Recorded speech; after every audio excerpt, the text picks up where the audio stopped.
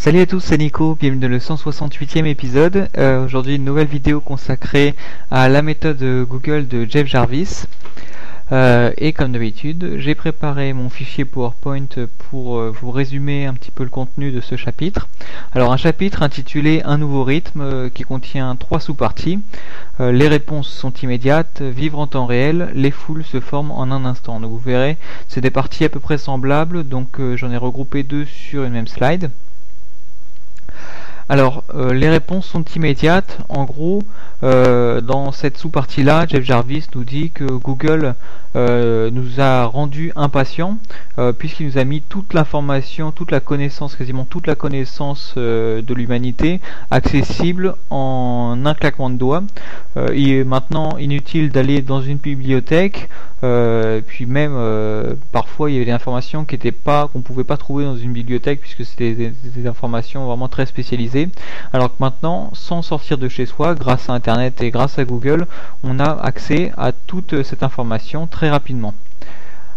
Euh, et euh, tous les secteurs maintenant, donc tous les secteurs sont affectés par ce changement de rythme, euh, puisque en fait c'est lié le, la mondialisation et puis l'apparition du web a fait que les changements de mode vraiment sont très rapides et se répercutent sur, sur quasiment l'ensemble de la planète vraiment très rapidement. Donc c'est tout ensuite euh, qui doit suivre, euh, pas seulement les magasins de, vêtements, euh, mais c'est vraiment tous les secteurs qui sont impactés par ces changements de rythme.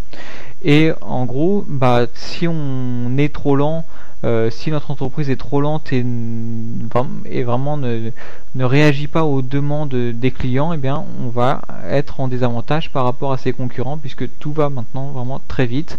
Euh, et même le conseil qui donne à la fin de cette sous-partie là, c'est d'essayer euh, plus que de répondre rapidement aux besoins de ses clients, c'est d'anticiper le, besoin de ses clients pour fournir le plus rapidement possible un produit qui répondra à ce besoin-là.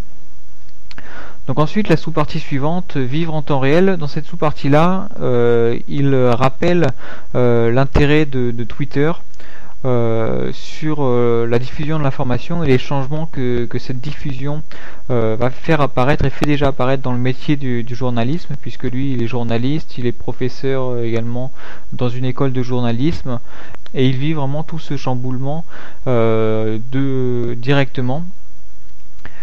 Et Enfin, euh, à la fin de cette sous-partie-là, euh, il nous dit qu'en gros, bah, le temps réel, euh, toute cette information en temps réel, à la fois ça bouleverse donc la façon de traiter l'information, mais également c'est une opportunité pour créer de nouer des conversations et créer des contacts. Enfin, peut-être que vous l'avez déjà expérimenté si vous êtes sur Twitter. c'est vraiment un moyen très facile pour rencontrer de nouvelles personnes, euh, discuter avec des inconnus euh, sur des sujets d'actualité, c'est vraiment très facile. Donc la dernière sous-partie de ce chapitre s'intitule Les foules se forment en un instant et euh, donc le bouquin il est paru en 2009 et dans, le début de cette sous-partie là il parle du président des Philippines qui a été renversé euh, par, euh, le, par son peuple qui s'est organisé, euh, qui a répandu très rapidement de l'information en profitant des réseaux sociaux. Et bah, je peux pas vous parler de cette sous-partie là sans faire référence à ce qui s'est passé récemment avec les révolutions dans le monde arabe. C'est pour ça que j'ai illustré avec, avec cette, cette photo là. bah, qu'en gros maintenant toutes ces révolutions et toute cette organisation de, grands mouvements populaires peut se faire et peut s'organiser très simplement avec les réseaux sociaux mis à la disposition euh, du peuple et c'est d'ailleurs pour ça que ça, fait peur au gouvernement qui essaye de, contrôler ça au maximum. Donc le web en temps réel euh, permet donc de s'organiser très rapidement et euh, également comme euh, ça permet à, également des, clients d'entreprise de, s'organiser, de partager de l'information vraiment très rapidement avec un grand nombre de personnes.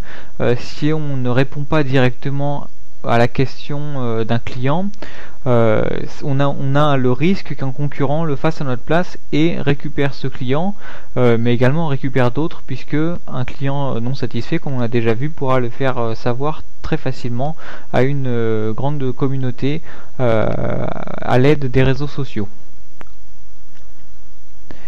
Et enfin, bah, il conclut cette euh, sous-partie avec euh, la phrase chaque seconde compte, euh, puisque bah, à l'ère du web en temps réel et des clients de plus en plus impatients, il va falloir répondre à cette impatience et être le plus rapide possible pour essayer de ne pas perdre ses clients impatients. Donc voilà pour euh, ce nouveau chapitre euh, consacré euh, à la méthode Google de Jeff Jarvis. le prochain chapitre, c'est le dernier chapitre des, lois Google. il s'intitule De nouveaux impératifs. Et après ce chapitre-là, on va arriver aux fameux exemples dans lesquels il essaye d'imaginer que, que serait un Google Cola, une Google Mobile, une compagnie aérienne Google, etc. Donc des exemples qui ont, qui ont l'air intéressants. J'ai lu sur euh, j'ai lu des avis sur le web qui disaient que c'était un petit peu du bourrage de crâne, donc j'attends de, j'attends de voir, euh, j'attends de lire tout ça pour me faire mon propre avis. Et puis, bah, comme d'habitude, je partagerai tout ça en vidéo, mais d'ici là, n'hésitez pas à me dire ce que vous en pensez dans les commentaires. C'est vraiment un bouquin euh, très intéressant.